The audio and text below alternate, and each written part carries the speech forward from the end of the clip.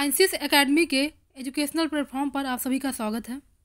जैसा कि 66 BPSC prelims का एग्ज़ाम 27 दिसंबर 2020 को कंप्लीट हो चुका है और डिफरेंट कोचिंग इंस्टीट्यूट ने आंसर की भी रिलीज़ कर दी है। आप लोगों ने मैच भी कर ली होगी।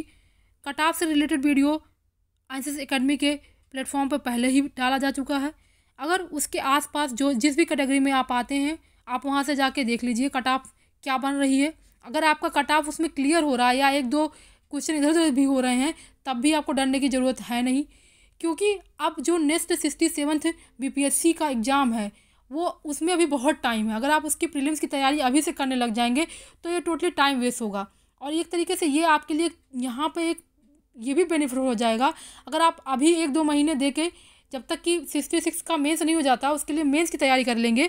तो आपके आने वाले में अगर सिक्सटी सेवन में आपका प्रीलिम्स निकलता है और मेंस लिखने का मौका मिलता है तो आपके लिए एक प्लस पॉइंट होगा, क्योंकि आपको तैयारी का मेंस की तैयारी का पूरा पूरा एक्सपीरियंस यहाँ पर मिल जाएगा।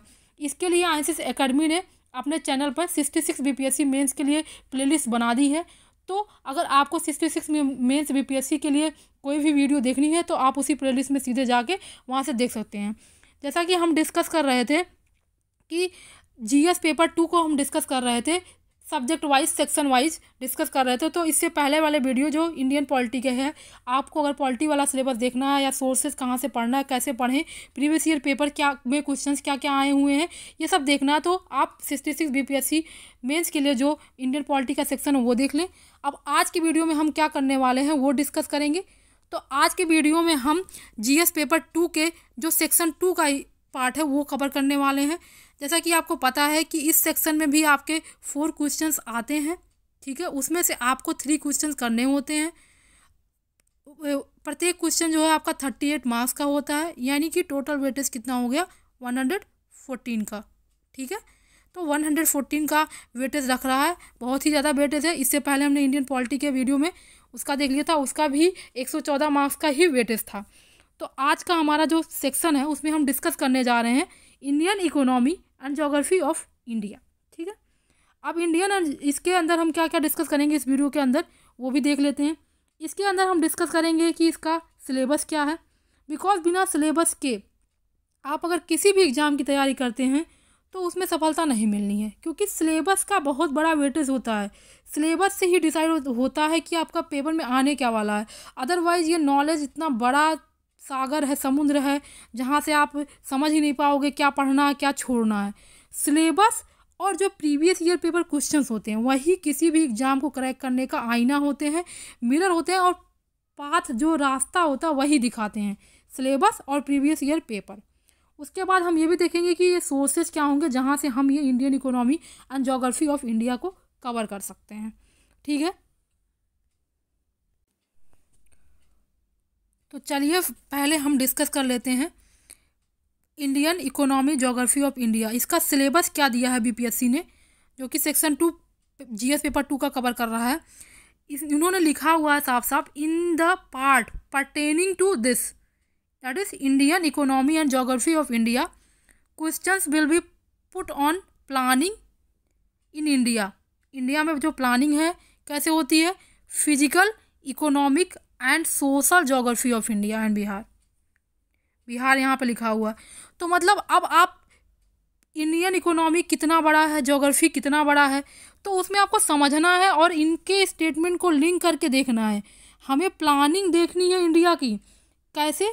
और जोग्राफी कौन सा देखना है? Physical economic and social geography जो चीज़ कवर करती है, वो चीज़ होनी चाहिए। ठीक है? यानी ये एकदम यहाँ से क्लियरिटी आ जाएगी आपको। और अगर आप अगर अभी हम प्रीवियस ईयर क्वेश्चन भी डिस्कस करेंगे, जब प्रीवियस ईयर क्वेश्चन डिस्कस करेंगे तो एकदम क्लियरिटी पिक्चर क्लियर हो जाएगी कि क्या होनी है। प्लानिंग का मतलब क्या है? इंडिया में प्लानिंग, जैसा कि आपको पता है कि इंडिया एक प्लान इकोनॉमी मिक्स इकोनॉमी है। प्लानिंग प्लस आपका डेवलपमेंट इकोनॉमी की बात करता है। लेकिन आपको देखना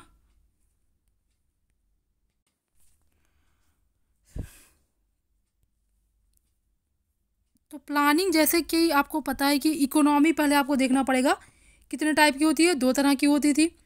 एक तो आपकी थी प्लान्ड इकोनॉमी और एक थी आपकी कैपिटलिस्टिक इकोनॉमी तो इन इंडिया के अंदर ना प्योरली प्लान्ड है और ना कैपिटलिस्टिक है। दोनों का मिक्सचर है, इसीलिए इसको कहते हैं मिक्स इकोनॉमी ठीक है? अब मिक्स इकोनॉमी में जब स्टार्ट में 1991 से पहले जो ओरिएंटेशन था, वो ज़्यादातर प्लानिंग की तरफ़ था। बट 1991 के बाद जब एलपीजी का कॉन्सेप्ट आया that is liquidization privatization and globalization तो इंडिया को अपनी इकोनॉमी को वर्ल्ड के लिए ओपन करना पड़ा। तो वहाँ से हमारा जो ओरिएंटेशन था, वो प्लान के बजाय कैपिटलिस्टिक की तरफ़ हो गया। ठीक है? तो हमें ये देखना होगा प्लानिंग का क्या रोल है 1991 से पहले और 1991 के बाद क्या हुआ है। तो इस तरीके से हमें प्लानिंग इन इंडिया देखनी है, ठीक है? जब हम जोग्राफी पढ़ेंगे तो हम फ़िज़िकल इकोनॉमिक सोशल और जोग्राफी की बात करेंगे। इंडिया और बिहार के परिपेक्ष में भी इसको देखना है कि बिहार से रिलेटेड क्या है। तो अगर अभी तो सिलेबस में इतना कम सिलेबस लिखा हुआ है, ज़्यादा फैलाया नहीं हुआ है तो उतना आइडिया नहीं लग पा रहा कि क्वेश्चन किस तरीके से आ सकते हैं। बट जब हम लास्ट के थ्री ईयर्स के पेपर डिस्कस करेंगे सिक्सटी फिफ्थ सिक्सटी फोर्थ और सिक्सटी थर्ड का तो हमें पूरा पूरा पिक्चर क्लियर हो जाएगा आइडिया लग जाएगा कि हमें आखिर इस सेक्शन में कैसे मैक्सिमम स्कोर गेट करना है। ठीक है? तो इस सेक्शन में हम आगे बढ़ते हैं। सिलेबस हमने डिस्कस कर लिया है। अब आगे हम previous year paper question discuss करने जा रहे हैं। तो पहले आप अभी जो लेटेस्ट में हुआ सिक्सटी फिफ्थ का, देख लेते हैं कि क्या आया था उसमें क्वेश्चन तो पहला क्वेश्चन है evaluate evaluate the production and productivity trends in Indian agriculture since 1991 what practical measures should be adopted to enhance agricultural production and productivity in Bihar तो इसीलिए अब आपको थोड़ा थोड़ा सिलेबस समझ में आ रहा होगा कि आखिर क्या सेंस बनता है कि इकोनॉमी और जोग्राफी ऑफ़ इंडिया को एक साथ रखने का। तो मतलब इकोनॉमी को इन्होंने जो क्वेश्चन दिया है, वो इकोनॉमी इन्होंने क्या कर दी है? लिंक कर दी है जोग्राफी के साथ। तो आपको मतलब वो बताने हैं कि आखिर प्रोडक्शन और प्रोडक्टिविटी ट्रेंड्स क्या क्या एग्रीकल्चर में रहे हैं? सिंस 1991 प्रोडक्शन बढ़ा है, घटा है, क्या है? कंटिन्यूस रहा है। तो इसके लिए आपको एक आइडिया होना चाहिए जो आप ग्राफ के माध्यम से आप उसको दिखा सकें। ठीक है, यहाँ पे आपको ग्राफ जो होंगे, वो आपको अच्छा आइडिया देंगे और आपका इस आपका जो क्वेश्चन होगा आंसर जो होगा, उसको बहुत ही अच्छा बनाएँगे, लोगों से अलग बनाएँगे। तो आपको डिफरेंट यहाँ पे ग्राफ आप ड्रॉ कर सकते हो प्रोडक्टिविटी से रिलेटेड उन्नीस नाइनटीन नाइन्टी वन से पहले इंडिया की इकोनॉमी में क्या थी? लोगों के पास मतलब लोग इतना नहीं उगा पाते थे प्रोडक्शन कर पाते थे कि वो खुद की ज़रूरतें पूरा कर पाएँ। उसके बाद इंडिया सरप्लस बनना शुरू हुआ। In in case of food grains और अलग अलग जितने भी आपके नॉन फ़ूड फ़ूड आइटम्स थे उनमें तो वो आपका एक ग्राफ के थ्रू उसको दिखाएँगे आप, ठीक है? पहले तो आपने पहला सेक्शन ये कर लिया प्रोडक्शन और प्रोडक्टिविटी ट्रेंड क्या थी ये बताना था सिंस नाइनटीन नाइन्टी वन के बाद बताना है। तो एक आइडिया इसलिए, इसीलिए यहाँ पे एक चीज़ और बताना होगा कि आपका जो है इंडियन इकोनॉमी वाला जो ये सेक्शन सेक्शन टू वाला है, उसके लिए जो प्लानिंग की बात ये करी है इन्होंने सिलेबस में साफ़ साफ़ तो प्लानिंग के लिए ज़रूरी है कि जितने भी फाइव ईयर प्लान्स बने हैं, उनका टारगेट क्या रखा गया था? अचीव हुआ था कि नहीं? बिलो टारगेट था या टारगेट से ज़्यादा था? तो मतलब आपके जो ट्वेल्व जो है सारी फाइव ईयर्स प्लान है। ट्वेल्व ही रहे इसके बाद तो आपका ख़त्म ही हो गया। फाइव ईयर प्लान जब से मोदी गवर्नमेंट आई तो उसने ख़त्म कर दिया। फाइव ईयर प्लान को इन्होंने अलग नाम दे दिया।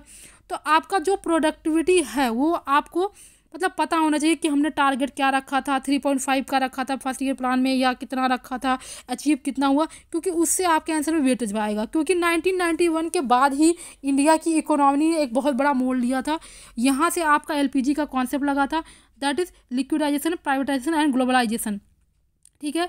लिक्विडाइजेशन प्राइवेटाइजेशन और ग्लोबलाइजेशन का कॉन्सेप्ट लगा था। तो यहाँ से आपकी इकोनॉमी जो है, बाहर की इकोनॉमी से फाइट करने के लिए क्या हुई थी? तैयार हो गई थी। तो इन्हें मजबूरी में उस समय खोलना पड़ा था, क्योंकि उस समय भी इंडिया का मार्केट इतना बड़ा नहीं था कि अपने आप को तैयार कर पाए, कि हम बाहर के मार्केट के जो प्रोडक्ट्स हैं, उनसे कम्पीट कर पाए। बट लेकिन मजबूरी में इन्हें खोलना ही पड़ा था दबाव में आकर डब्ल्यू टी ओ से, क्योंकि जो भी हेल्प मिलनी थी सब्सिडी वगैरह वो नहीं मिल पा रही थी। तो इस वजह से इन्हों मजबूरी में एलपीजी का कॉन्सेप्ट नाइनटीन नाइन्टी वन में ले आना पड़ा था। तो बेसिकली जो ट्रेंड चेंज हुए हैं, वो नाइनटीन नाइन्टी वन के बाद ही चेंज हुए हैं। तो आपको एक आइडिया होना चाहिए, इसलिए आपको पता चल गया यहाँ पर एक सोर्स कि आपको, ये आपके जितने भी फाइव ईयर प्लान्स हैं, उनको आपको एकदम बाई हार्ट करना पड़ेगा। एकदम बहुत अच्छे से लर्न करना पड़ेगा इनको, जिससे आप इसको यूज़ करके अपना आंसर अच्छा बना पाएँ। तो पहला सेक्शन ये आंसर का हो गया, ठीक है? दूसरा कह रहा है कि practical measures should be adopted to enhance agriculture तो ये तो आपको पता होना चाहिए कि आज के टाइम में मतलब इकोनॉमी के, को आगे बढ़ाने के लिए, जिससे कि कम रिसोर्सेज में ज़्यादा प्रोडक्ट मिल सके, उसके लिए कई सारे स्कीम्स योजनाएँ चल रही हैं और बिहार में भी क्या लाई जा सकती है कि नहीं लाई जा सकती, बिहार के परिपेक्ष में आपको बताना पड़ेगा कि योजना कैसे है। जैसे पर ड्रॉप मोर क्रॉप का कॉन्सेप्ट आया तो बिहार में ये किस लेवल तक पहुँचा है पर ड्रॉप मोर क्रॉप? यहाँ पे क्या इसका फ़ायदा दिख रहा है? स्प्रिंकल सिस्टम सेट किया जा सकता है कि नहीं इरीगेशन के लिए? आप, क्योंकि अगर एक बैलेंस वे में इरीगेशन नहीं होगा, तब भी आपका फ़सल जो होगा नुकसान हो सकता है। तो किस वैरायटी के हाई यील्ड सीट बिहार में पहुँचे हैं या नहीं, क्योंकि इन्होंने बिहार का ज़िक्र कर दिया। तो बिहार, आपको मतलब एक अगर आप मैप बना के बिहार का वो बता सकते हो कि कहाँ पे किस कौन से चीज़ों से सिंचाई हो रही है, इरिगेशन के लिए कैनाल है या नहीं है, या कैसे आप कैनाल को वहाँ तक पहुँचा सकते हो, या आपका इरिगेशन के जितने भी मीडियम नलकूप है या इन सबको आप डिस्कस कर सकते हो थ्रू द मीडियम ऑफ़ आप आपका बनाओगे एक मैप और मैप में आप डिस्कस कर सकते हो कि किस एरिया में क्या हो सकता है। उसके बाद आपका आता है वैरायटी और इन्हेंस कैसे कर सकते हैं? एक तो आप स्प्रिंकल सिस्टम ले आओ, जिससे कि पर ड्रॉप मोर क्रॉप मिले। इरिगेशन क्योंकि बहुत ही इंपॉर्टेंट होता है एग्रीकल्चर के लिए। दूसरा आपको हो सकता है हाई वैरायटी ईल्ड वाले जो सीड्स हैं, वो यूज़ करो, जिससे कि आपकी प्रोडक्टिविटी बढ़ेगी। अगर आपका क्रॉप ही अच्छी ईल्ड का आपने वैरायटी का आपने सीड ही नहीं लिया तो आपको कहाँ से मतलब प्रोडक्ट अच्छा मिलेगा? और जो आपका टिलेज होता है दैट इज़ जो आपकी कंजर्वेशन टिलेज होना चाहिए नहीं कि इतना ज़्यादा आपने टिलेज कर दिया कि जो आपकी, जो इम्पोर्टेंट आपके इंसेक्ट्स से वो भी इसी में ख़त्म हो गए। जिससे कि वर्मी कंपोस्ट वगैरह आपके जो भी है वर्मी कल्चर वो प्रोटेक्टेड रहे तो टिलेज भी एक मीडियम में एक साइंटिफिक वे में होनी चाहिए। यह डिस्कस करना पड़ेगा नाइट्रोजन के अमाउंट कितना चाहिए नाइट्रोजन सही से मिल रहा है या नहीं मिल रहा है ये देखना पड़ेगा। और आपके पास फॉर्म जो फॉर्म मैनेजमेंट सॉफ्टवेयर हैं, वो सही से लग रहे हैं या नहीं? ये सारी पॉइंट्स में अगर आप इसको डिफरेंट वे में डिस्कस करोगे through the medium of science tech तो आपका आंसर बहुत डायमेंशन में और ऊपर से आप उसमें मैप्स का इस्तेमाल कर दोगे तो ये भी पता चल जाएगा कि आपको जोग्राफ़ी का नॉलेज है नहीं या नहीं। क्योंकि इन्होंने साफ़ साफ़ सिलेबस में इंडियन इकोनॉमी और जोग्राफ़ी को लिंक किया हुआ है। तो इसका मतलब ये, यहाँ पे आपको इकोनॉमी के साथ साथ आपका जोग्राफ़ी को भी टेस्ट करना चाह रहे हैं। इसलिए आपको मैपिंग का भी आइडिया होना चाहिए, इसमें आपको मैप को इंक्लूड करना होगा। इससे आपका जो आंसर होगा, वो मल्टी डायमेंशनल लगेगा और बहुत ही अट्रैक्टिव लगेगा। और आपको पता ही है कि सिक्स पेज लिखने हैं तो बेकार की बातें करके अगर आप सिक्स पेज भरोगे, जैसे कि आप ग्रेजुएट में ग्रेजुएशन में लिखते आए हो तो कुछ भी मार्क्स नहीं मिल रहा यहाँ आपको हर मतलब दूसरे कैंडिडेट से अलग दिखना है तो आपको मैपिंग का इस्तेमाल करना पड़ेगा, आपको स्टैट्स दिखाने पड़ेंगे ग्राफ का इस्तेमाल करना पड़ेगा, जिससे आपका जो आंसर है, बहुत ही प्रोडक्टिव बन जाए। ठीक है? अब नेक्स्ट क्वेश्चन हम डिस्कस करेंगे। पहला क्वेश्चन तो हमने डिस्कस कर लिया। अब अगला क्वेश्चन है कि discuss the relevance of economic planning in India in the post economic reform era discuss the relevance of economic planning in India in the post economic reform era in this context explain that how state and market state and market के बारे में बोला है can play a synergic role in the economic development of the country तो पहले बहुत ज़्यादा ज़रूरी है कि थर्टी एट मार्क्स का क्वेश्चन है तो इसका बाइफर्केशन कैसे किया जाए? पहले तो इनका डिवीज़न बहुत ज़्यादा इंपॉर्टेंट है। तो इसमें दो क्वेश्चन इन्होंने पूछे हैं। एक तो पूछा है कि discuss the relevance of economic planning in India in the post economic reform era तो पोस्ट इकोनॉमिक रिफॉर्म एरा में आपको डिस्कस करना है कि रेलिवेंस ऑफ़ इकोनॉमिक प्लानिंग क्या है, ठीक है? तो ये तो आपको, यानी नाइनटीन मार्क्स में ये ये चेक होने वाला है, ठीक है? और उसके बाद नाइनटीन मार्क्स में आपका ये चेक होने वाला है। In this context explain that how state and market can play a synergetic role in the economic development of country तो अब नाइनटीन मार्क्स में ये होने वाला और नाइनटीन मार्क्स में ये होने वाला है। अब नाइनटीन मार्क्स का हमें ये लिखना है discuss the relevance of economic planning the post economic reform era तो अब आपका रिफॉर्म आपको पता है ये कब आया? पुराना क्वेश्चन भी उसी पर डिस्कस हो गया। और ये वाला मतलब फिफ्थ नंबर जो था, वो भी कहीं ना कहीं इसी रिफॉर्म मेरा यानी रिफॉर्म आया आपका नाइनटीन नाइन्टी वन के बाद, जब आपका एलपीजी आया। एलपीजी आपको पता ही है liquidization privatization and labour globalization sorry तो लिबरलाइजेशन प्राइवेटाइजेशन और ग्लोबलाइजेशन का बात आया कि क्योंकि 1991 से पहले जितनी भी मेजर इंडस्ट्रीज़ थी, सब आपकी स्टेट के हाथ में थी। एवरीथिंग वाज पब्लिक सब पब्लिक सेक्टर में था। सब पब्लिक के हाथ में था प्राइवेट के हाथ में नहीं था। उसके बाद आपका लिक्विडाइज लिबरलाइजेशन का मतलब यही होता है कि आपको क्या करना है स्टेट के अंदर जो है चीज़ें मतलब प्राइवेट के हाथों में भी आपको देना पड़ेगा। मतलब तो यहीं से शुरू हुआ कि प्राइवेट इंडस्ट्रीज़ वगैरह को भी इसमें प्रोडक्शन के लिए बोला गया। ग्लोबलाइजेशन पता है कि जैसे मार्केट क्या होगा, आपका क्लोज नहीं होना चाहिए ओपन होना चाहिए एवरी पर्सन के लिए। ठीक है तो आपको ये डिस्कस करना है। उसके बाद अब प्लानिंग का कहाँ तक रोल रह गया? पहले प्लानिंग में सब कुछ जो है गवर्नमेंट प्लान करती थी everything was public sector but nineteen जब रिफॉर्म आया तो ओपन करना पड़ा। तो इसके लिए आप रेलिवेंस दे सकते हो कि यूएसएसआर का दे सकते हो कि कैसे मतलब यूएसएसआर की इकोनॉमी का नुकसान हुआ जब सब कुछ स्टेट के हाथ में था। स्टेट के हाथ में तो था इकोनॉमी यूएसएसआर की डाइवर्जन पे आ गई, क्योंकि एक तरीके से मतलब मार्केट में आपका कंपटीशन भी ज़रूरी है। अगर आपको पता है कि आप कितना भी वर्क करो, आपको उतना ही मिलना है। सैलरी आपको सब कुछ, वही इंसेंटिव कुछ नहीं मिलना है। तो एक तरीके से यहाँ पे लोगों के अंदर जो काम करने की इच्छा होती है और जो प्रोडक्ट देने की इच्छा होती है, वो भी ख़त्म हो जाती है। तो प्लानिंग, इसलिए कुछ चीज़ें आपको प्राइवेट करनी पड़ती है। वैसे उस समय इंडिया का 1991 में इंडिया तैयार नहीं था ये ग्लोबलाइजेशन के के लिए तैयार नहीं था, क्योंकि उस समय इंडिया के प्रोडक्ट इतने अच्छे नहीं थे कि वो वर्ल्ड लेवल पर compete कर सकें। और इस तरीके से इंडिया को डर था कि जो इनका इससे जो इनके जो घरेलू मार्केट डोमेस्टिक मार्केट थी, वो पूरी तरीके से ख़राब हो सकती थी। तो इसलिए डर भी था, लेकिन कहीं ना कहीं इससे फ़ायदा भी हुआ है। तो उस समय अब उस प्लानिंग को कैसे टर्न किया गया, जो पूरी इंडस्ट्री पब्लिक के हाथ में थी, अब उस उस जो पैसा था, कहाँ लगाया गया, किस सेक्शन में लगाया लगाया गया, ये सब चीज़ें आपको इस वाले क्वेश्चन में डिस्कस करनी पड़ेंगी कि क्या प्लानिंग का रेलिवेंस रह गया है। इस प्लानिंग का पूरा एक चैप्टर डिस्कस करेंगे हम इसके बाद तो उसमें हम अच्छे से बताएँगे कि कहाँ से इसको क्या करना है, कैसे इसको पढ़ना है इस क्वेश्चन को। अभी बस एक बेसिक आइडिया इस क्वेश्चन का ले लेते हैं, ठीक है?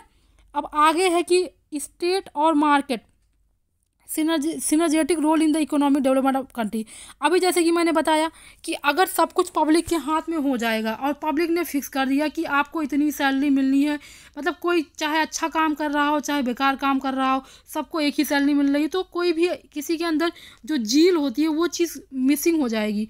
तो लोग काम नहीं करना चाहेंगे, उत्साह कम होगा। बट अगर मार्केट भी आ गया यहाँ पे तो जो मतलब कंपटीशन आ जाएगा यहाँ पे कायदे से। जब एक ही बंदा सब कुछ प्रोडक्ट बना रहा होगा तो कोई कंपटीशन नहीं होगा। अब जब मार्केट भी इसमें अपना रोल प्ले करने लग जाएगा तो कंपटीशन की भावना आएगी। और कंपटीशन जो होता है, जब कंपटीशन होता है तो डेफिनेटली क्या होता है, वहाँ की इकोनॉमी की ग्रो करती है। बिना कंपटीशन के कोई भी चीज़ नहीं पॉसिबल होता। इसीलिए तो नहीं तो हर जगह सोशलिस्टिक इकोनॉमी ही चल रही होती। सो लेकिन क्या हुआ कि कैपिटलिस्टिक इकोनॉमी का भी दौर आया मार्केट भी बने, और मार्केट से भी रोल शुरू हुआ। तो ये सब चीज़ें आपको इसमें डिस्कस करनी होगी।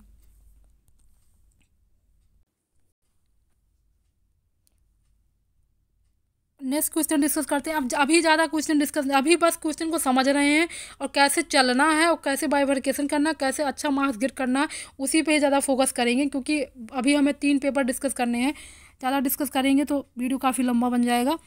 अब देखिए, अब नेक्स्ट क्वेश्चन आपका सेवन नंबर देख लेते हैं।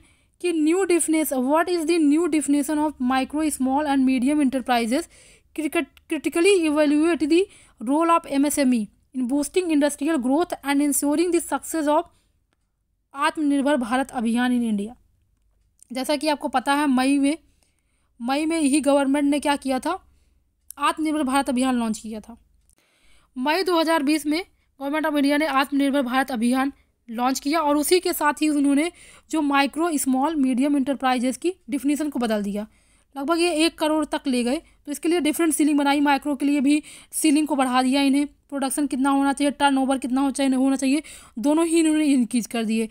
माइक्रो के लिए, स्मॉल के लिए और मीडियम के लिए। ठीक है? तो आपको पहली बात तो यही नया डिफिनीसन ही आपको याद होना चाहिए, क्योंकि नई योजना लॉन्च हुई थी और नया बहुत दिनों बाद ये डिस्कस हुआ था। तो मतलब इतने सालों के बाद ये आपका नया सीलिंग बना है तो आपको ये डिफिनीसन तो पढ़ के ये पूरी पूरी चर्चा में थी और उम्मीद भी था कि ये एग्ज़ाम में आ सकता है। और आत्मनिर्भर भारत अभियान का जो कोविड का दौर है उसमें बहुत बड़ा रोल था। तो एक तरीके से आत्मनिर्भर अभियान के साथ ही इस, इस डिफिनीसन को भी चेंज की गई थी। इसलिए जो पहला पार्ट है वो तो सीधे सीधे डिफिनीसन ही है। अगर आप इसको लिख देंगे तो आराम से जितने भी मार्क्स का ये होगा, अगर आपका सही है तो पूरा पूरा मार्क्स मिल जाएगा। इसमें कुछ भी अलग करना ही नहीं है। आपको बस टर्न टर्नओवर बताना है और कितना तक इसका प्रोडक्शन को लिया गया है। ठीक है? डिफिनीसन तो आपको याद करके जाओगे, तभी आप लिख पाओगे अदरवाइज़ नहीं लिख पाओगे। और अगर इस क्वेश्चन को आप लिखते हो तो इसमें आपको आराम से पूरे पूरे मार्क्स मिलने की पूरी पूरी चांस एकदम मैथमेटिक्स की तरह ही है। क्योंकि पूरा डिफिनीसन अगर डिफिनीसन लिख दिया तो सही लिखा तो पूरा पूरा नंबर और गलत हो गया तो कुछ भी नहीं मिलेंगे। ठीक है? और अगले आगे कह रहा है critically evaluate the role of MSME in boosting industrial growth and ensuring the success of Atmanirbhar Bharat Abhiyan. तो एमएसएमई का क्या रोल हो सकता है? अभी इस कोविड के दौर में तो एमएसएमई का रोल आप आराम से बता सकते हो कि माइक्रो स्मॉल मीडियम इंटरप्राइजेस क्या कर सकती हैं? डिफरेंट एरियाज़ हो सकते हैं इसमें। फ़ूड क्रॉप इंडस्ट्रीज़ हो, हो सकती हैं। नॉन फ़ूड इंडस्ट्रीज़ भी हो सकती हैं। तो डिफरेंट डिफरेंट आपको इंडस्ट्रीज़ जितने भी एमएसएमई के अंदर आते हैं, वो इसमें डिस्कस कर लोगे। ये क्वेश्चन बहुत ही सिंपल है। इसमें इसमें पूरा आपको डायमेंशन समझ में आ रहा है। आप इसको लिख सकते हो आसानी से। अब नेक्स्ट क्वेश्चन देख लेते हैं। What are the main constraints in the rapid economic development of Bihar how can these constraints be remove तो अब क्या क्या रुकावटें आ रही हैं जो कि बिहार के इकोनॉमिक डेवलपमेंट में आ रही हैं, उनको आपको इसमें देखना था इस क्वेश्चन में। ठीक है? इसमें आप बता सकते हो कि क्या इंडस्ट्रीज़ का कैसे हो रहा है, कैसे फ्लड फ्लड कैसे इस ज़्यादा कर रहा इरिगेशन की सही व्यवस्था ना होना, क्योंकि मेन बिहार जो है एग्रीकल्चर बेस्ड इकोनॉमी है। तो एग्रीकल्चर जब बेस्ड है तो एग्रीकल्चर अगर वहाँ का डेवलप करेगा और उस एग्रीकल्चर से अगर हम एक मैन्युफैक्चरिंग इंडस्ट्री को लिंक करेंगे देन हमारा चीज़ें आपका जो कि डेवलपमेंट में आगे बढ़ेंगी। तो एग्रीकल्चर, इसमें देखना पड़ेगा कि एग्रीकल्चर बेस इकोनॉमी है तो एग्रीकल्चर में क्या क्या रुकावटें आ रही हैं? फ्लड बार बार परेशान करता है, इरीगेशन की अच्छी व्यवस्था नहीं है, ये बता सकते हो आप। फिर उसके बाद हाई यील्ड वैरायटी सील्ड नहीं आसानी से उपलब्ध होते हैं, ये सब बता सकते हो। फिर अब मैन्युफैक्चरिंग इंडस्ट्रीज़ नहीं लगी हुई हैं, जहाँ पे सपोज़ बनाना मिल रहा है बहुत सारा, वहाँ पे बनाना की आप चिप्स की इंडस्ट्री लगा सकते हो। तो इंडस्ट्री ना लगने का क्या रीज़न हो सकता है? रोड्स अच्छे हैं या नहीं हैं? ट्रांसपोर्टेशन की व्यवस्था है ही, है कि नहीं है? इंफ्रास्ट्रक्चर अवेलेबल है या नहीं है? इलेक्ट्रिसिटी सही से मिल रही है ना नहीं मिल रही है? तो सारी रुकावटें आप बता सकते हो और इसमें आप मैप का भी इस्तेमाल करोगे तो आपका आंसर जो होगा वो बहुत अच्छा बन जाएगा। इरीगे, जैसे मैंने पिछले क्वेश्चन में डिस्कस किया था कि आप मैप बनाओ बिहार का और बताओ कहाँ पे क्या, माइनिंग के लिए कहाँ पे क्या हो, सोर्स है, आयरन और कहाँ मिलता है, कहाँ आपको मिल सक, जहाँ पे हम स्टील इंडस्ट्री लगा सकते हैं। तो ये सब डिस्कस करने के लिए हम इसका मटेरियल प्रोवाइड करा देंगे। आप, और योजना की मदद ले सकते हैं, क्योंकि योजना में भी बहुत अच्छे से ये सब चीज़ें डिस्कस हुई रहती हैं। वो आर्ट क्लेस से रिलेटेड वहाँ से उठा लेंगे। ठीक है क्वेश्चन आपको समझ में आ रहा होगा कि मतलब क्या डायमेंशंस है। अगर इसमें आप अगर टू द पॉइंट होकर नहीं पढ़ोगे तो मेंस की तैयारी में आपका कुछ भी ना हो। मेंस में आपको बहुत ही लोग, यहाँ बहुत, एक तो गाइडेंस बहुत कम उपलब्ध है, कोई भी मेंस आपकी तैयारी जो है, कोई फ्री में नहीं करवाना चाहता। वो सब आपका कोचिंग में ही करवाते हैं और वो भी फ़ीस लेते हैं, वो भी सही से गाइडलाइन दे देते। हैं लग रहा है कि फालतू की चीज़ें पढ़ाया जा रहा है, जो सिलेबस में आ भी नहीं रही हैं। तो आपको एक स्मार्ट स्टूडेंट की तरह स्टडी करना है, ना कि लगे लगे हुए लगे हुए हैं और कुछ भी नहीं हो रहा है। तो सिलेबस देखिए प्रीवियस ईयर पेपर सबसे बड़ा आईना होता है, उसको सब कुछ मानना है और उसके हिसाब से तैयारी करनी है। देन आप देखोगे कि आपको मेंस के एग्ज़ाम में कुछ भी दिक्कत नहीं होने वाली, आप सीधे के सीधे वहीं जाके लिख आओगे बस आराम से। आप सीधे आपको क्वेश्चंस वो मिल ही जाएँगे कि, अरे हम, मैंने जो पढ़ा था, ये तो वही एग्ज़ाम में आ गया। ठीक है? ज़्यादा टाइम और नहीं लेते हैं इस चीज़ में, आगे बढ़ते हैं। हाँ आगे बढ़ते हैं। अभी हमने sixty fifth B P S C mains के पेपर को डिस्कस कर लिया है। अब हम डिस्कस करेंगे सिक्सटी फोर्थ का। सिक्सटी फिफ्थ में जितना ही इवेल्यूटिव आया था, उतना ही सिंपल क्वेश्चन सिक्सटी फोर्थ में आया था। सीधे इन्होंने क्या दे दिया? Critically examine the need of food security in India इसको क्रिटिकली एग्जामिन करना है, ठीक है? तो मतलब देखना है इसका मतलब इसका जब क्रिटिकली एग्जामिन बोलेगा तो आपको दोनों पॉइंट लिखना पड़ेगा। मतलब कि क्या इसके फॉर अगेंस्ट में है और क्या इसके मतलब अच्छे अच्छे पॉइंट्स क्या हैं क्या क्या इससे गड़बड़ क्या है, ठीक है? तो इसके लिए आपको पता होना चाहिए कि फ़ूड सिक्योरिटी की, की कैसे अवेलेबल करा जाता है। आपको पीडीएस सिस्टम के बारे में पता होना चाहिए। फिर उसके बाद पीडीएस के थ्रू एफ़ सी आई का क्या रोल है ये पता होना चाहिए। मतलब एक एक जनरल आइडिया इसके बारे में होना चाहिए। ठीक है इसमें इस भी भी कहीं ना कहीं से प्लानिंग का ही पार्ट है। क्योंकि अगर प्लानिंग नहीं होता सब कुछ मार्केट के बेस पे होता तो फिर ज़रूरत क्या थी पीडीएस या फ़ूड सिक्योरिटी या पीडीएस सिस्टम की बात करने की। तो इंडिया में इंडिया जैसा कि मिक्स इकोनॉमी है और इसका नाइनटीन नाइन्टी वन से पहले इसका जो ओरिएंटेशन था मोर ओरिएंटेशन टुवार्ड्स सोशलिस्टिक था, जो कि अब ज़्यादा कैपिटलिस्टिक की तरफ़ हो गया है। ठीक है? तो इस तरीके से आप इसका सिंपल क्वेश्चन है। आप इसका सिंपल आंसर लिख सकते हो। क्वेश्चन समझने में भी कोई दिक्कत नहीं है। ठीक है? अब आगे बढ़ते हैं नेक्स्ट क्वेश्चन ये भी बहुत ही सिंपल इन्होंने सीधे क्वेश्चन पूछ लिया। Explain the role of W T O in context of Indian economy W का रोल क्या है? ट्रेड ऑर्गेनाइजेशन क्या कहता है? सब्सिडी को बार बार क्रिटिसाइज करते रहते हैं। पीडीएस सिस्टम को ये बोलते हैं कि ख़त्म करो। डब्ल्यू कहता है, इसके अंदर जो ब्लू बॉक्स तीन तरह की जो सब्सिडीज़ हैं, उसका भी ज़िक्र आप कर सकते हो। तो इंडियन इकोनॉमी के सेंस में क्या डब्ल्यूटीओ ने कहा हुआ? उस समय डब्ल्यूटीओ ने कई इस पर रेस्ट्रिक्शंस लगाए थे, इसलिए उस समय ये क्वेश्चन आया था। कहीं ना कहीं ये क्वेश्चन जो है करंट से लिंक करके ही अपना क्वेश्चन बना रहे हैं। और प्लस लेकिन ये तो चीज़ क्लियर है कि ये अपने उस पर टिके हुए हैं, जो इन्होंने सिलेबस दिया है कि related to planning planning economy में इन्होंने प्लानिंग लिखा हुआ है और सोशल सोशल फ़िज़िकल जोग्राफी की बात करी हुई। तो कहीं ना कहीं ये सोशल से रिलेटेड चीज़ें हैं, क्योंकि जहाँ भी आ जाएगा पॉवर्टी वगैरह की बात हो जाएगी, वो सोशल के ही पार्ट हो जाएँगे। तो इसी को डायमेंशन देते हुए सोशल जोग्राफी का इस डायमेंशन देते हुए आप इसको बता सकते हो, ठीक है? ये कहीं ना कहीं जो ये है इकोनॉमी वाला जो सेक्शन है जोग्राफी वाला सेक्शन टू ये भी कहीं ना कहीं से आपका करंट से लिंक ही आ रहा है। करंट में जो चीज़ें चर्चा में होगी तो ये हम इसीलिए डिस्कस कर रहे हैं कि हमें इस बार कौन सा पॉइंट करना होगा जी को क्या चीज़ ज़्यादा इंपॉर्टेंट हो सकती है? जैसे सिक्सटी फिफ्थ में अभी रिसेंट में सोचो मतलब मई में आया था आपका एम e का नया डिफिनीसन आत्मनिर्भर भारत अभियान की बात हुई थी और वही क्वेश्चन आ गया। तो अभी रिसेंट में डब्ल्यूटीओ से रिलेटेड कुछ भी ऐसा कुछ खास नहीं हो तो हो सकता है कि मतलब जिससे रिलेटेड आएगा, जो तुम्हारे इंडियन इकोनॉमी को इफ़ेक्ट कर रही है, उससे रिलेटेड कोई ऑर्गेनाइजेशन है और कुछ उसने बात कही है तो उसको, उससे रिलेटेड चीज़ें पढ़ना बहुत ज़रूरी है। ठीक है? इससे हम ये आइडिया ले रहे हैं। अब आगे बढ़ते हैं। नेक्स्ट क्वेश्चन आपका क्या है? Evaluate the principal achievement of Indian economic planning Indian economic planning के कहीं ना, देखो इनका सब कुछ क्वेश्चन सारा कहाँ है? प्लानिंग से ही खेल रहा है। मतलब इसीलिए प्लानिंग कौन करता है, कैसे होता है? प्लान्स फाइव ईयर जितने भी आए हैं, उनका टारगेट क्या रखा गया था, क्या प्लानिंग की गई थी, किसने बनाया था प्लान स्ट्रक्चर, उसका मूवमेंट सोशलिस्टिक की तरफ़ था या कैपिटलिस्टिक की तरफ़ था, अचीव हुआ था या नहीं हुआ था। इसमें तो आपको अगर पंच, सारे फाइव ईयर प्लान्स अच्छे से याद हैं तो आप वहीं से तो बचाओगे कि अचीवमेंट्स क्या हैं। उसके थ्रू क्या बना हैवी इंडस्ट्री पे ज़ोर दिया गया या एग्रीकल्चर पर डिस्कस किया गया। तो अगर यानी कि आपको अपने जो फाइव ईयर प्लान्स जितने भी ट्वेल्व हैं और इस समय जो चल रहे हैं रिसेंट में, वो सारा आपको पता होना चाहिए, ठीक है? इसका, इसलिए हमें ये तो करके जाना ही है। ये करके गए अगर प्लानिंग अच्छे से तो कम से कम हमारा एक क्वेश्चन तो थर्टी एट मार्क्स का पक्का है, उसमें पूरे पूरे मार्क्स हम गेट कर लेंगे। क्योंकि अगर अच्छे से हम बताएँगे सारे स्टेट्स को ग्राफ के थ्रू दिखाएँगे तो आराम से हमें इसमें पूरा पूरा नंबर मिलना ही है। अब नेक्स्ट क्वेश्चन डिस्कस करते हैं।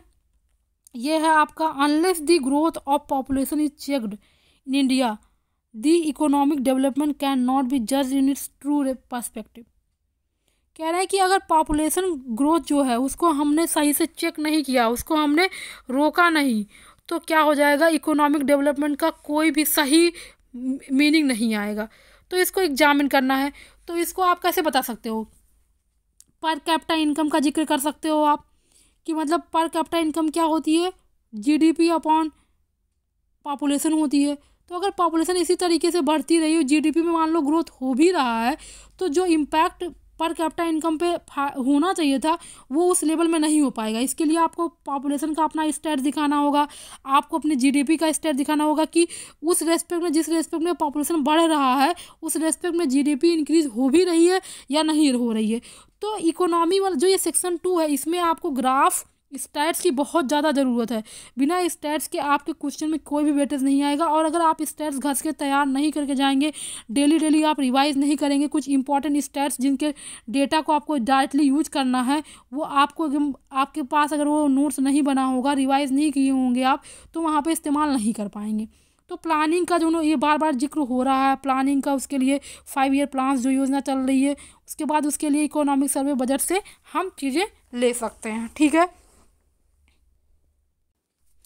अब हमने सिक्सटी फोर्थ का डिस्कस कर लिया है। अब नेक्स्ट डिस्कस करेंगे सिक्सटी थर्ड में क्या क्वेश्चंस आए थे। ठीक है? सिक्स नंबर देख लेते हैं। Presently highlight the major problems of Indian agriculture and suggest way to remove them and discuss the major programmes being run by the government for the development of Indian agriculture तो मतलब syllabus से कितना चीज़ें आसान हो गई। मतलब कहीं ना कहीं एग्रीकल्चर से बिहार की इकोनॉमी एग्रीकल्चर बेस्ड है मेनली तो एग्रीकल्चर पे ही क्वेश्चन ये बना रहे हैं। एग्रीकल्चर में प्रॉब्लम क्या है? उसको इम्प्रूव कैसे कर सकते हैं? प्रोग्राम्स क्या चल रही हैं? तो मतलब एग्रीकल्चर इनका बहुत ही अच्छा टॉपिक है, यानी आपको एग्रीकल्चर को बहुत अच्छे से पढ़ना होगा। आप यार समझ में आ रहा होगा आपको कि मतलब इकोनॉमी के अंदर जो स्टेट्स वगैरह करने हो एग्री अदरवाइज़ इंडियन इकोनॉमी का बड़ा इतना वास्ट सिलेबस है, वही बार बार आपको समझाने की कोशिश हो रही है कि आप कैसे कम टाइम में स्मार्ट स्टडी करके सिलेक्शन पा सकते हो। उसका सबसे अच्छा सोर्स है प्रीवियस ईयर पेपर और सिलेबस प्रीवियस ईयर पेपर जैसा हम डिस्कस कर रहे हैं, कितना आसान चीज़ें हो जा रही हैं कि इंडियन एग्रीकल्चर से क्वेश्चन आ रहा है मेजर प्रॉब्लम्स क्या हैं इंडियन एग्रीकल्चर की वो बतानी है आपको और कैसे आप उसको रिमूव कर सकते हो वो बतानी है आपको मेजर प्रोग्राम्स क्या क्या गवर्नमेंट चला रही है वो बताना है आपको। ये क्वेश्चन कितना आसान हो जाएगा, अगर आप ये घर से आप, आपके पास अच्छा नोट्स बना हुआ होगा तो आप जाकर आराम से लिख दोगे इसको, ठीक है? नेक्स्ट क्वेश्चन देखते हैं। Discussing the estimation of poverty of India, explain the factors responsible for poverty. Which programs are being run by the Indian government to remove poverty? ठीक है और ये कहीं ना कहीं किसका पार्ट है पावर्टी जो है वो सोशल जोग्राफी का पार्ट है क्योंकि समाज से रिलेटेड समाज की एक समस्या ही हो जाती है पावर्टी तो डिफिनीसन ऑफ़ पावर्टी आपको पता होना चाहिए पावर्टी पे कितनी कमिटीज़ बनी हुई हैं, कब से कमेटी बन रही है पावर्टी पे, सब बताना होगा आपको कि पहले क्या कैलोरी बेस कब था, फिर कंज कंजप्शन बेस कब आया, इसमें तरह तरह की जो कमेटीज़ बनी हुई थी अलग कमेटी बनी हुई थी, तेंदुलकर कमेटी बनी थी, उसने क्या क्राइटेरिया दिया था कैलोरी का क्राइटेरिया किसने दिया, ये सब आपको मतलब पता होना चाहिए पावर्टी पे। जितनी भी कमेटीज़ बनी है, पाँच छः कमेटीज़ जो भी बनी है, तेंदुलकर हो गया आपका, अलग कमेटी हो गया आपका ठीक है? सारी कमेटी का आपको ज़िक्र करना होगा और किसने क्या डिफिनीसन दिया था, वो बताना होगा। कितना अच्छा क्वेश्चन ये आपका हो सकता है। थर्टी एट मार्क्स में आप डेफिनेटली थर्टी एट तो यानी कि इस इकोनॉमी में तो पूरा पूरा मतलब ये क्लियर ही हो रहा है इस सेक्शन में कि आपको पढ़ के जा, क्या जाना है।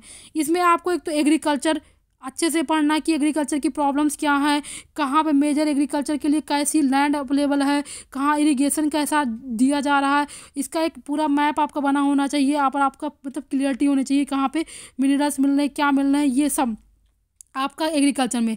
और सोशल जोग्राफी जैसा कि कवर हुआ तो सोशल जोग्राफी के अंदर पावर्टी आती ही है और पावर्टी बहुत बड़ी समस्या भी है। फ़ूड फॉर ऑल की बात हो रही है। यू यूएन तक यूनाइटेड नेशंस भी इसके बारे में बात कर रहा है।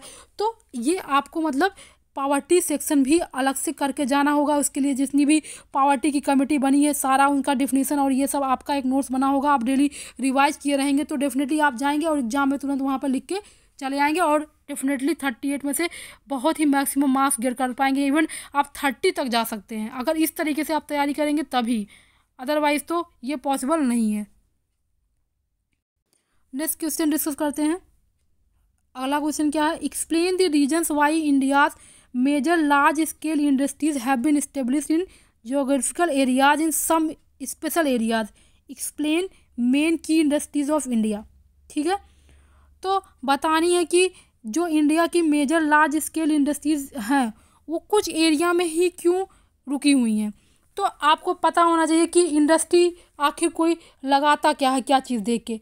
इंडस्ट्री सबसे ज़्यादा ज़रूरी चीज़ होता है कि वहाँ पे इंफ्रास्ट्रक्चर कैसा अवेलेबल है नंबर एक पॉइंट इंफ्रास्ट्रक्चर में क्या क्या आ जाएगा? रोड ट्रांसपोर्ट आ जाएँगे, आपके हाईवेज़ हैं या नहीं है, आपकी इलेक्ट्रिसिटी है या नहीं है वहाँ पे सही से। मतलब सिक्योरिटी है या नहीं है तो एक इंडस्ट्री को लार्ज स्केल इंडस्ट्रीज़ को सेट और वहाँ पर मार्केट सेटअप हो सकता है या नहीं? बिकॉज़ क्योंकि अल्टीमेटली जो अगर मार्केट बहुत दूर हो जाएगा इंडस्ट्री से तो आपका ट्रांसपोर्टेशन का चार्ज बहुत ज़्यादा आ जाएगा, वो भी तो बचाना होता है।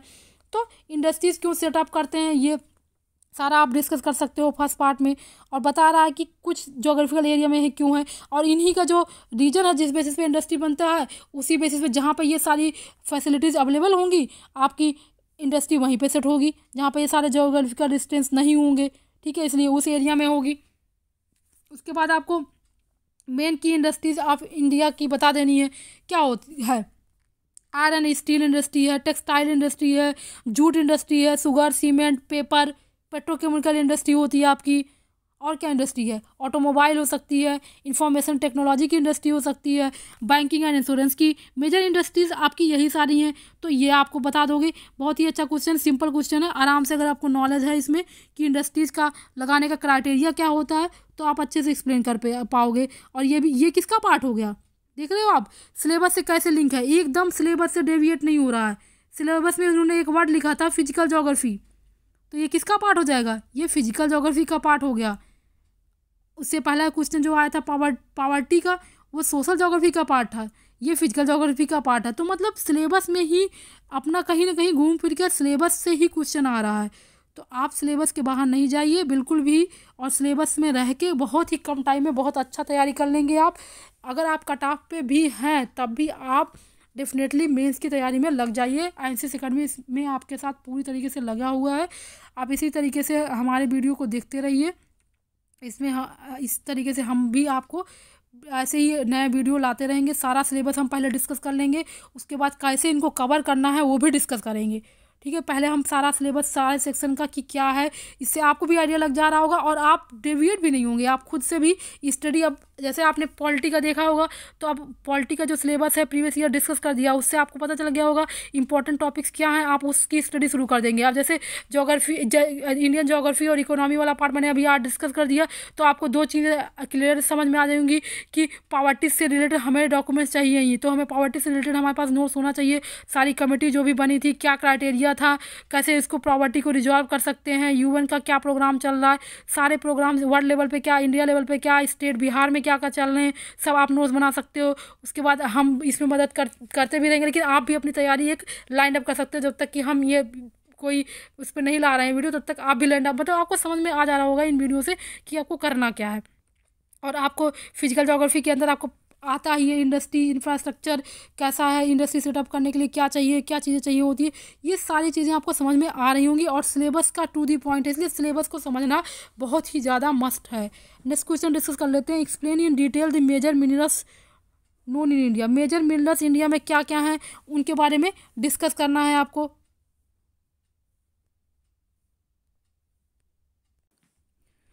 तो आप, हम क्या डिस्कस करें? Detail in major minerals known in India discuss the their contribution in the economic development of Indian economy as well as tell the key points to India new mineral policy India की new mineral policy उसी समय आई हुई थी, इसलिए ये news में था, इसलिए क्वेश्चन पूछा. बट लेकिन ये चीज़ जानना कि मेजर मिनरल्स ये कभी भी आ सकता है, कहीं भी आप इसको लिख सकते हो, अगर मिनरल से रिलेटेड कोई क्वेश्चन आता है या डेवलपमेंट कैसे मिनरल्स हेल्प कर सकते हैं उसमें तो आपको पता होना चाहिए। तो पहले आपको डिटेल में बताना होगा मेजर मिनरल्स इंडिया में क्या है?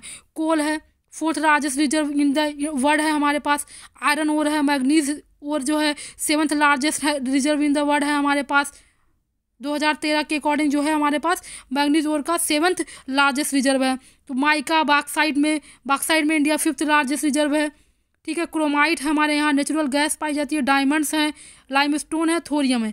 तो मेजर आपके जो मिनरल्स ये सब हैं, आपको डिस्कस करने होंगे। और अगर आप मैप बना सकते हो इंडिया का मैप बना के आप बता सकते हो कि कहाँ पे झरिया में कोयला सबसे बढ़ ज़्यादा पाया जाता है बाक्साइड कहाँ पाया जाता है। ठीक है, ये सारी चीज़ें आप अगर मैप के इंडिया का मैप बनाओ, उसके थ्रू आप अच्छे से एक्सप्लेन कर दोगे कि आपके आंसर में बेटर जाएगा और डेफिनेटली आपको मार्क्स मिलेगा। कंट्रीब्यूशन क्या है? इसका और मिनरल्स का मिनरल्स का बहुत ही ज़्यादा कंट्रीब्यूशन है। इसको बता सकते हो कि कैसे मिनरल से इनका हम बाई प्रोडक्ट मैन्युफैक्चरिंग में कहाँ यूज़ करते हैं स्टील प्लांट में कैसे यूज़ कर सकते हैं। जो मैंने मेजर इंडस्ट्रीज़ की बात करी थी पिछले क्वेश्चन में, कहीं ना कहीं ये लिंक हो गया। तो मतलब लिंकिंग की पावर आपके अंदर होनी चाहिए। अगर आपके पास नोट्स बना होगा, ठीक से रिविजन होगा, तभी आप लिंक भी कर पाओगे। क्योंकि एक क्वेश्चन देख रहे हो, एक क्वेश्चन से लिंक दूसरा क्वेश्चन है। अगर एक बार आपने industry major, large scale industries पढ़ी, क्योंकि आपको पता है कि हमारा इकोनॉमी के तीन सेक्टर हैं, primary sector, secondary sector and tertiary sector. Primary sector के अंदर आपका क्या आता है? एग्री, एग्रीकल्चर आता है।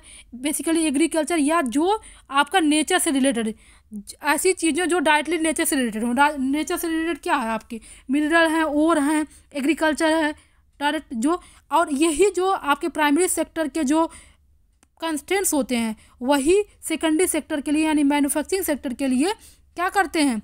एज ए रॉ मटेरियल काम करते हैं। तो रॉ मटेरियल की तरह यहाँ यानी सेकेंडरी सेक्टर के अंदर आपकी इंडस्ट्रीज़ आ गई तो प्राइमरी सेक्टर का ही डेवलपमेंट क्या है?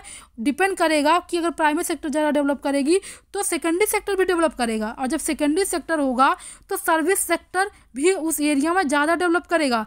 तो ये आपका मतलब ये बेसिक जो होगा, आपका प्राइमरी सेक्टर सेकेंडरी सेक्टर और टेसरी सेक्टर ये आपको हेल्प करेगा आपके आंसर राइटिंग में। तो यानी कहीं ना कहीं इंडस्ट्री जो है एग्रीकल्चर से रिलेटेड है और कल्चर जो है एग्रीकल्चर जो है, आपका इंडस्ट्री से रिलेटेड है। और सर्विस सेक्टर इन दोनों को मर्ज करता हुआ है, जिन दोनों को ही सर्विसेज़ प्रोवाइड करता है प्राइमरी सेक्टर और सेकेंडरी सेक्टर को।